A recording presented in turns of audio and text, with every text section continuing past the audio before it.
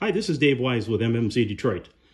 This is a continuation of a series of videos which we're going to explore Lynch Road assembly and more specifically the trim tag or body code body code plate.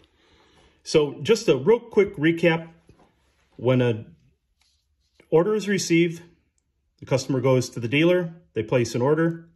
From there, the order is transferred to, at this, at this point, 1969 is what we're looking at, it would go to Highland Park.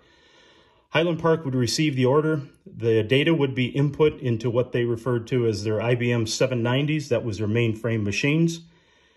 That would, uh, the order would be received from the dealer, and whether it was a sold car, uh, order bank car, a special car, etc., etc., they would start to sort and try to determine where is the best location for this vehicle to be produced.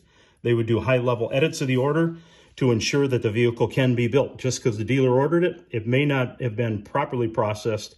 So if it is properly processed and it and it's allowed to move forward and say they selected Lynch Road to build this vehicle, it would then be transferred to the production control department. And believe it or not, back then there wasn't a lot of high transferring of electronic data over wire.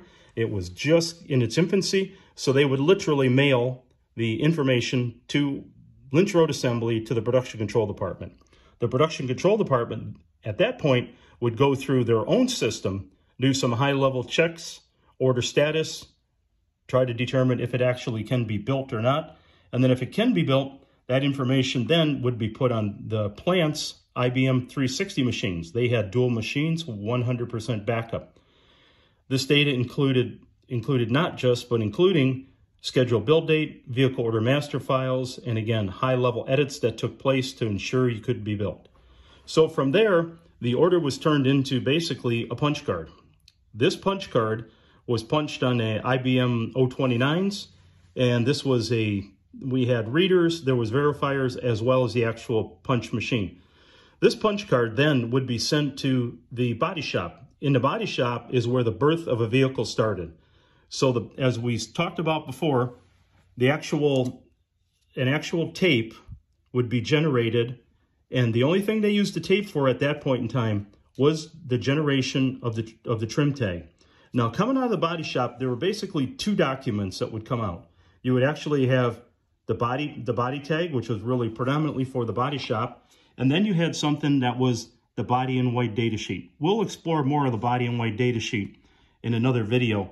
But to, but to get back to the trim tag. So the trim tags, Lynch Road Assembly, Lynch Road Assembly was located in Mount Elliott Lynch Road. And if you ever notice a Lynch Road tag, an original tag has very little paint. That's because they were often hung from the roof rail. They were hung from the roof rail with, with wires such as what is on this tag. And this is actually a wire that was found nothing more than a paper clip. It was found under the car, under a car that we inspected one time. It was an original unrestored car. So there are other process sheets that are produced at the plant, goes through final assembly. There's, there's other, um, if you will, indicators that are in final assembly of what other action has to happen to the car. And then certainly they go off the end of the line. And we'll explore more of that in greater detail at a future video.